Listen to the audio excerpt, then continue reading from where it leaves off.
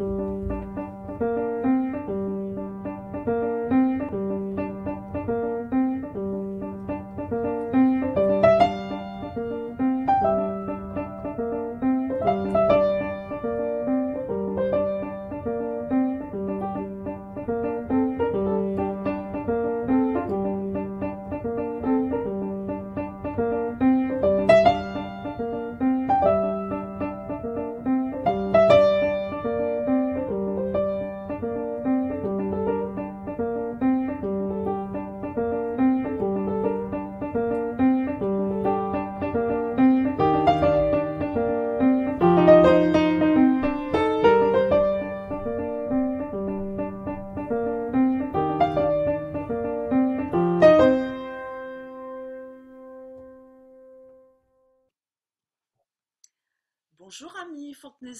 et d'ailleurs, on se retrouve ce soir comme chaque soir avec aujourd'hui Macha Garibian. Bonjour Macha. Bonjour, bonjour euh, les fontenaisiens, bonjour Sophie. Bon, on est très très content de, t'accueillir parce que tu es quelqu'un euh, qui fait intégralement partie de l'histoire du comptoir et cela depuis euh, longtemps, depuis de nombreuses années. Et on a vu, on a eu, nous, le plaisir de te voir parcourir euh, à grands pas un chemin euh, magnifique, j'ai envie de dire flamboyant. Et ben, est-ce que tu peux te présenter pour nos amis qui ne te connaîtraient pas?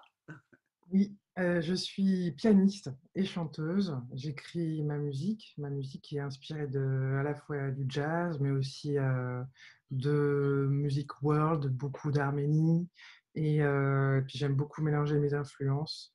En fait, je me sens appartenir à plusieurs familles musicales et, et j'aime mélanger les genres. Oui, ça c'est ça c'est sûr. Nous, nous finalement, je crois qu'on t'a connu plutôt du côté de tes racines arméniennes et en fait plus comme chanteuse au début que comme pianiste et compositrice. Hein. Oui, parce que quand on s'est connus, je chantais avec mon père et Papier d'Arménie, ce mmh qui occupait un peu finalement une partie de ma vie de musicienne, mais ce n'était qu'une infime partie de, de, mon parcours, parce qu'avant de chanter, j'ai d'abord été pianiste. Oui, mais je crois d'ailleurs, on t'a entendu, est-ce que je me trompe si c'était au théâtre des, des Bouffes du Nord? Oui, au Bouffe du Nord. Et alors là, c'était tout autre chose parce que c'était dans une euh, mise en scène de Simon Abkarian avec un spectacle qui avait été créé par euh, Catherine Chaub-Abkarian, qui est la femme de Simon. Mmh et euh, c'était un spectacle qui racontait la vie de Matahari et qu'on a joué au Bouffe du Nord, qu'on a joué au, Théâtre National de Toulouse. Donc là, mmh j'étais au piano, j'avais créé la musique. Et c'était encore une fois d'ailleurs une musique dans laquelle je mêlais Rachmaninoff, Art Tatum, oui. Et, et, puis des compositions personnelles. et voilà. Et, je crois et ça, c'était il y a déjà assez longtemps. On a joué ce spectacle-là au Bout du Nord, c'était en 2011. Oui. et on l'avait créé à Toulouse en 2010. Voilà. Hein. ouais, quasiment, quasiment 10 ans. Et après, donc, on t'a vu cheminer, bon, continuer à, à apporter beaucoup, enfin, à vous nourrir mutuellement avec Papier d'Arménie. Hein. et puis on t'a vu tout d'un coup, euh, euh, on a eu le plaisir de t'accueillir au comptoir pour des résidences, des, petites résidences sur ton parcours, et qu'il a été vraiment euh, pour tes compositions, et dans des formes, j'ai envie de dire, qui revenaient plus à la forme un peu historique du jazz, c'est-à-dire dans, des formes en trio. Euh, alors, est-ce que j'ai. Bah, le dernier projet que j'ai fait en, Il est en trio, effectivement. Là, euh, effectivement, j'étais en, résidence au comptoir il y a un peu plus d'un an, c'était en février 2019. Ouais, Et, euh, mais c'est vrai que vous m'aviez proposé, suite à, au Bouffe du Nord, où vous m'aviez vu au piano, c'est là que vous m'avez proposé de faire un libre cours. Et le premier libre cours que j'ai fait, j'avais envie d'inviter mon père. J'avais invité Kevin Sediki, qui est un guitariste qui joue aussi des percussions iraniennes, et notamment du zarb, qui est un génial musicien, et Tosha Vukmirovic au clarinette, saxophone. Et on avait monté ce quartet qui a joué qu'une fois. C'est vrai, ouais. J'avais réussi d'ailleurs à faire chanter mon père euh, une chanson euh, Boulevard of Broken Dreams, une chanson en anglais Ouais, c'est pas Nat King Cole, je sais, je crois que c'est Nat King Cole qui la chante. Et, euh, et puis le deuxième livre court, c'est là qu'est né vraiment mon projet en quartet, qui a été, euh, bah, qui a vraiment été le, les prémices de- du quartet Mars et de l'album qu'on a enregistré après avec Théo Girard, David Potoradel et Fabrice Moreau. Ouais, ouais. Et qui, est- oui, qui était un magnifique souvenir et qui est un album en plus qui, qui a vraiment bien marché, qui a été tout de suite très repéré hein, et, Ouais. et- et- et salué. hein. Je crois que ça a été un peu. Euh, enfin, c'est cet album qui t'a fait connaître, je crois, vraiment en tant que euh, pianiste, compositrice euh, de jazz. Oui, mais oui, oui, j'étais une totale inconnue avant ça, puisque j'avais écrit des musiques pour le théâtre et pour l'image, quelques musiques de films, et j'avais tourné en tant que chanteuse avec Papier d'Arménie et dans d'autres projets avec des comédiens. J'avais beaucoup, j'avais beaucoup travaillé dans le monde du théâtre et finalement de l'image. Mhm. Et, euh, et ce quartet Mars, quand l'album sort, c'est vraiment, pour moi, enfin, je débarque un peu dans le milieu du jazz, on ne me connaît pas. Et les premiers retours, euh, il y a eu des super beaux papiers dans Télérama. C'est Anne Berthaud qui a fait, la, je crois, la première chronique que j'ai eue, c'est Mhm. dans Télérama avec les, les trois clés. euh, ouais, après, il y a eu des beaux papiers dans Libération, Le Monde. ouais. et puis après, bah, comme beaucoup d'artistes, je me suis, je me suis construite en fait vraiment sur scène euh, parce que j'avais fait peu de scènes en fait en tant que pianiste et chanteuse.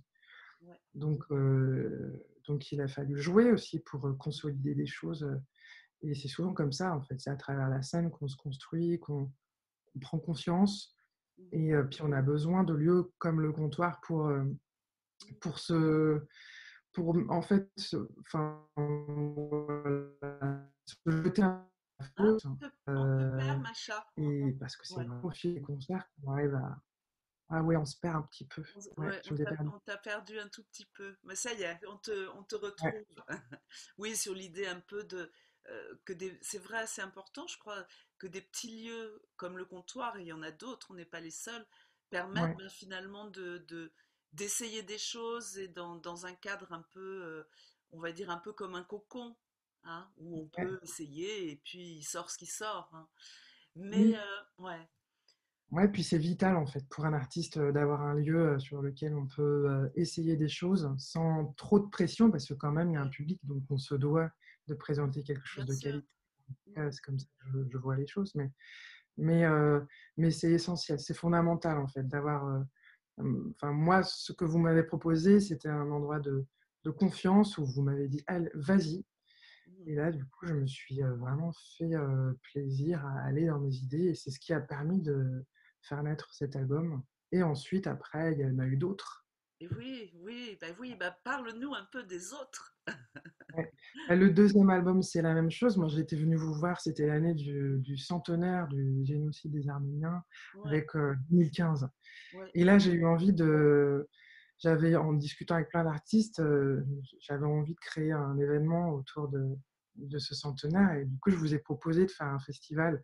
Et vous avez, et vous avez été euh, enfin, géniaux, comme d'hab, euh, partants. Et du coup, on a créé ce festival ensemble avec plusieurs rendez-vous. Et le premier rendez-vous était euh, celui qui, qui, a, qui a après enfin, donné mon album Trans Extended, qui était un projet avec des, des musiciens d'univers très différents.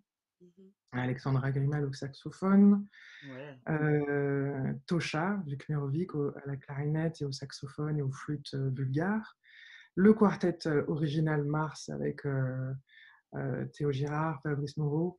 Il n'y avait pas encore David à la guitare, mais je l'ai réintégré après. Et à l'époque, au trombone, Sébastien Liado. Et donc, le projet est né vraiment au comptoir avec cette, cette envie de mélanger des couleurs du jazz, de la world, de l'Arménie, évidemment, mais de dire que notre parcours, il est fait de, en tout cas le mien, il est vraiment fait de ces rencontres et de ces pérégrinations à travers euh, la musique, mais aussi les cultures, euh, la- les langues, euh, Ouais. parce que j'aime, j'aime mélanger. C'est intéressant parce qu'en fait, euh, hier, on a eu euh, donc une interview et, on a écouté la musique de, de Chaba Palotai, donc euh, euh, guitariste d'origine hongroise, et qui en fait se nourrit aussi, même si on ne l'entend pas directement, on ne le perçoit pas directement dans sa musique, en tout cas il y a une sorte de, pulsation, de rythme, de folklore, c'est peut-être trop dire, mais en même temps j'ai envie de le Ouais, dire, euh, on sent qu'il est enraciné, que, que, que sa musique vient de ces racines-là, pour lui de la Transylvanie en fait, et euh, ouais, qui donne une tonalité tout à fait particulière à sa musique, même s'il est profondément inscrit euh, dans le jazz. Mais en fait, c'est idiot de dire même si, puisqu'en fait, le jazz est fait de ça, en fait, en réalité. Et je pense que les deux coexistent en fait. Il n'y a pas de ou. C'est ce que, c'est ce que je suis en train d'apprendre en fait. On n'est pas ça ou ça, on est ça et ça. On est, on est plein de choses. Oui, c'est sûr que si c'est ou et ou, on est coupé en deux, tandis que c'est du ouais, plus, ouais, ça donne euh, une chose unique. Et en fait, ça fait d'autant plus plaisir. Alors, bon, c'est un petit peu peut-être euh, réducteur de le dire comme ça, mais j'ai envie de le dire. D'autant plus plaisir parce que les femmes dans le jazz ont quand même une place euh, très secondaire, surtout en Mm, tant que compositrice et interprète. Puisque bon, on trouve beaucoup interprètes instrumentales, je veux dire, puisqu'on trouve mm, beaucoup de femmes chanteuses, hein, mais ouais, finalement, euh, des, des interprètes et des compositrices, on n'en trouve pas tant que ça. hein. ouais, ouais, ouais. C'est vrai que euh, en France, euh, enfin dans le monde en fait. Dans le monde, Mais hein. moi, je- moi j'associe ça beaucoup à, bah, à la manière dont on est éduqué, élevé. Parce qu'on, en tant qu'enfant, en tant que petite fille ou petit garçon, euh, on ne s'adresse pas de la même manière aux petites filles, aux petits garçons. Ça, c'est un fait. euh. Oui, ouais, Et euh, euh, j'étais, j'étais jury, j'étais présidente de jury euh, l'été dernier à Vienne, ouais. un grand jury qui, pour un concours de jeunes musiciens. Il y avait dix groupes. Sur les dix groupes, il y avait donc une femme qui est batteuse à qui on a donné le prix d'ailleurs, un prix euh, parce qu'elle enfin, nous a vraiment fascinés. euh, son- elle s'appelle Elvire Jouve. Ouais. Et euh, donc c'était la seule musicienne. Et je me suis rappelé, moi, quand j'étais jeune, enfin quand j'ai commencé à faire du jazz, long- pendant des années, je me sentais pas légitime. Et, euh, et jamais je me serais présentée à un concours. Il m'a fallu, et, et même encore maintenant, je ne suis pas sûre que je me présenterai à un concours. Et par contre, je voyais c'est chez les jeunes, jeunes hommes, jeunes musiciens de 20 ans, 22 ans, 25 ans, l'assurance de se dire, bah oui, j'y vais, je tente ma chance.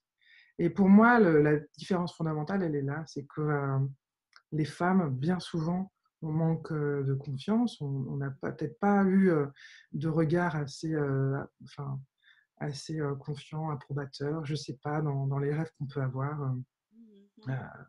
Et, euh, du coup, on développe pas la même confiance face à la vie, et la même, alors qu'on a les mêmes, je pense, les mêmes armes, les mêmes, euh, enfin, voilà. ça.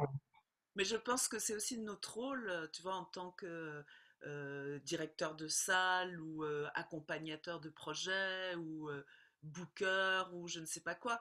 Je crois que c'est vraiment notre rôle de faire bouger ça euh, dans la profession.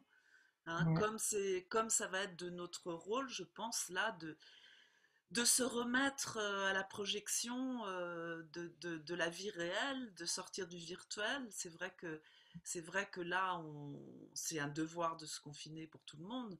Mais si on pense à l'après, il va falloir inventer des choses, mais inventer des choses euh, dans la réalité, dans la réalité avec le public, avec le spectacle vivant, avec les artistes sur scène.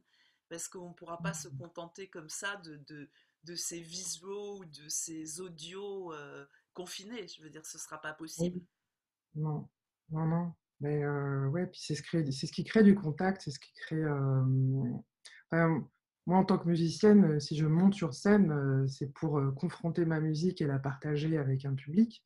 Mhm. Et évidemment, c'est pour recevoir, euh, recevoir en direct les retours, les... et puis l'amour, en fait. On a besoin de partager quelque chose qui est juste de l'amour. On a besoin d'être d'être validé, d'être euh, voilà, d'être juste aimé pour ce qu'on est. Et, on a besoin de ça, quoi. Mhm. D'ailleurs, Macha, pour toi, dans, dans cette période-là, est-ce que c'est aisé de, de composer, d'écrire de la musique, de jouer, ou c'est comment Je? Je n'écris pas du tout de musique. D'ailleurs, les premières semaines, je n'avais même pas envie de jouer. Ça m'a un peu euh, coupé euh, l'herbe sous les pieds parce que moi, j'étais en pleine sortie d'album. euh, donc, il y avait beaucoup de concerts qui étaient en train de, qui étaient confirmés, des beaux festivals, Jazz sous les pommiers. On devait aller en Allemagne, à Brême, à Montreux, en Suisse. Donc, c'était vraiment des, beaux événements qui allaient, qui venaient dans mon année euh, me donner vraiment des, objectifs de travail aussi, parce que même si j'ai sorti un album, la musique, elle n'est pas finie, elle continue d'évoluer, je continue de travailler des, choses autour de cette musique.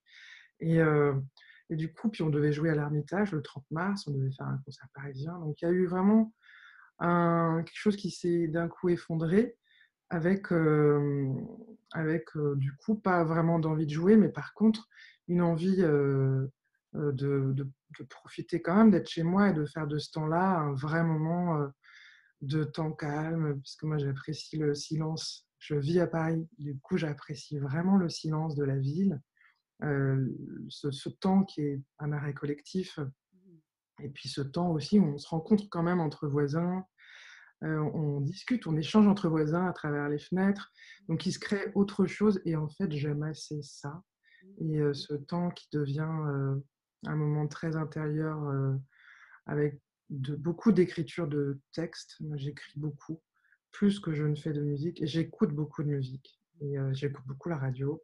Euh, je choisis, j'aime beaucoup la philosophie, donc j'écoute des podcasts de philosophie. Enfin, vraiment, je, remplis mon temps. Et finalement, l'écriture, la composition musicale, elle n'est elle est pas là, mais je pense qu'il y a des choses qui, qui évoluent dans mon esprit et qui, certainement, à un moment donné, euh, donneront de la musique, mais pour le moment, non. Ouais. Et, euh, et, et j'apprécie, en fait. Bon, je pense que tu auras l'occasion, enfin tous ces festivals, euh, je l'espère, et on, on- on va tous faire en sorte pour qu'ils puissent continuer à se tenir, même, euh, même si c'est euh, dans un temps plus lointain, hein, on verra, mais ils reviendront, on pourra t'y voir. Hein. Ouais, ouais, je pense que ce serait bien maintenant de, de- de t'entendre, de t'écouter ouais, oui, oui, avec plaisir. Ouais, ouais, ouais. D'accord. Bon, et ben écoutez les amis, on va passer euh, à l'écoute de Macha et on se retrouvera demain, si vous le voulez, avec euh, un groupe qui n'est pas venu jouer depuis longtemps au comptoir, mais qui nous a aussi longtemps accompagnés, un groupe de musique klezmer. On accueillera demain Yankele. Au revoir Macha. Au revoir, Sophie. À bientôt, Au revoir j'espère. Ouais, bonne écoute. Ouais.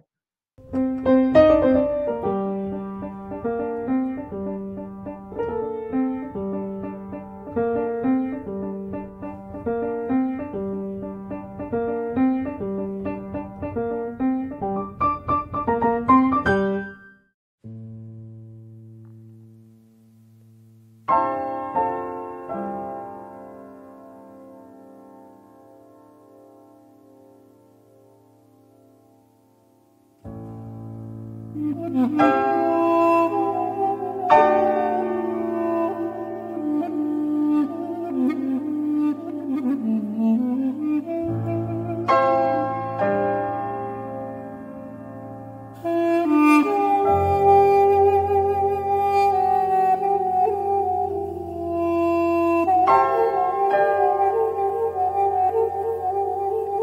un album de, à la fois de chansons que j'ai écrites, que j'ai coécrites, de chansons que j'ai reprises aussi. Il y a beaucoup d'amour, il y a beaucoup de thèmes autour de la joie et du réveil, mais aussi dans la joie, il y a, de il y a la tristesse.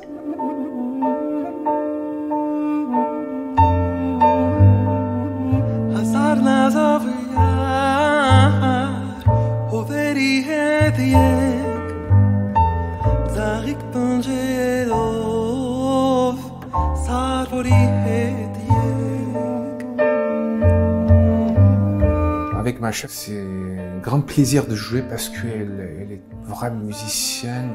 Elle propose des choses, des musicales, des nuances, à monter, descendre, etc. Par rapport dans les endroits, c'est très intéressant pour moi.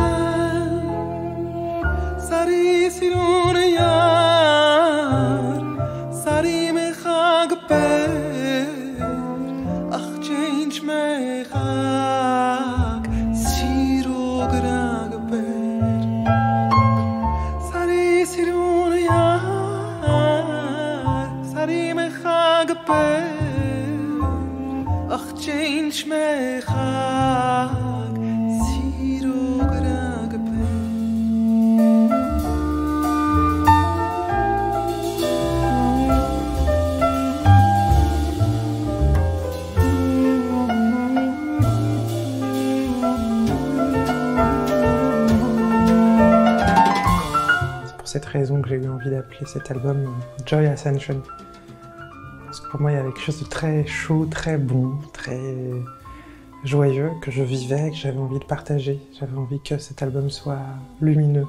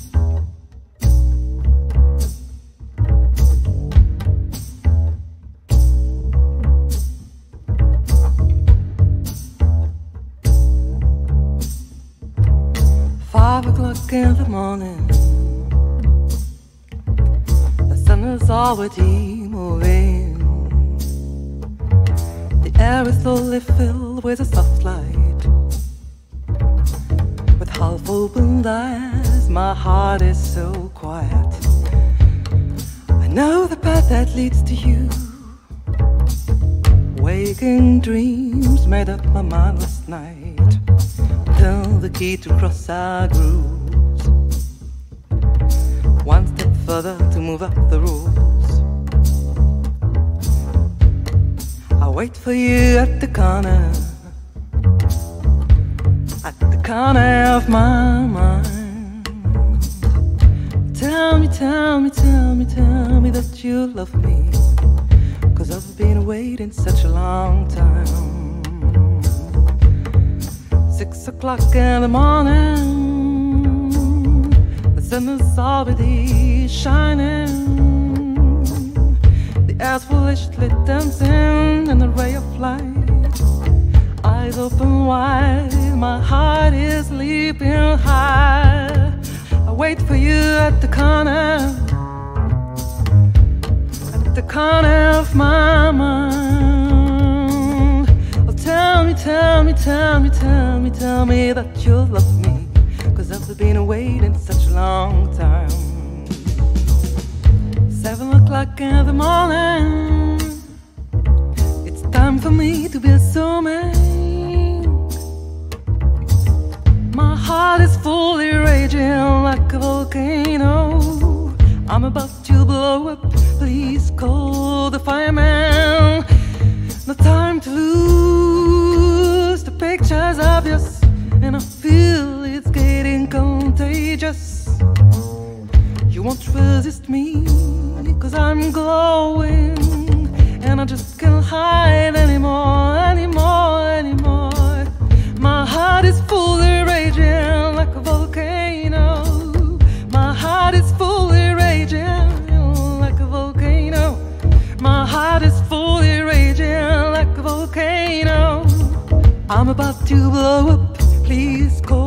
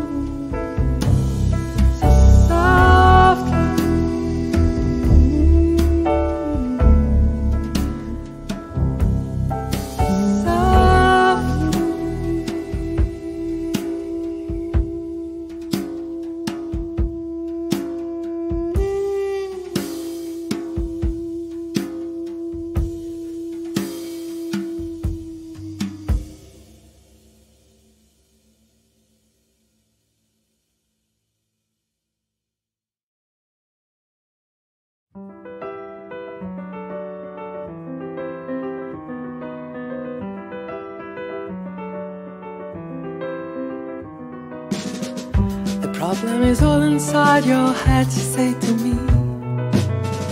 The answer is easy if you take it logically. I'd like to help you in your struggle to be free. There must be 50 ways to leave your lover. He said it's really not my habit to intrude. Furthermore, I hope my meaning won't be lost or misconstrued. But I'll repeat myself. Risk of being cruel. There must be 50 ways to leave your lover. 50 ways to leave your lover. You just slip out the back, Jack. Make a new plan. Then you don't need to be. You just listen to me. Hop on the bus, guess you don't need to discuss much. Just drop off the key get yourself free. Slip out the back, Jack. Make a new plan. Stand. You don't need to be coy, boy. Just listen to me. Hop on the bus, guess you don't need to discuss much. Just drop off the key and get yourself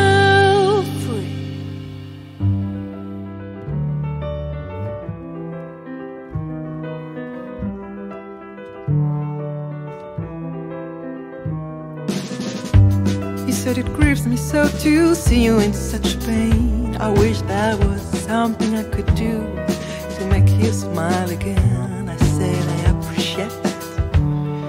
And would you please explain about the 50 ways? He said, Why don't we both just sleep on it tonight? I believe in the morning you'll begin to see the light. And I realized he probably was right. There must be 50 ways to leave your lover. 50 ways to leave your lover. You just slip out the back, Jack. Make a new plan, then you don't need to be caught. You just listen to me. Hop on the bus, guess you don't need to discuss much. Just drop off the key and get yourself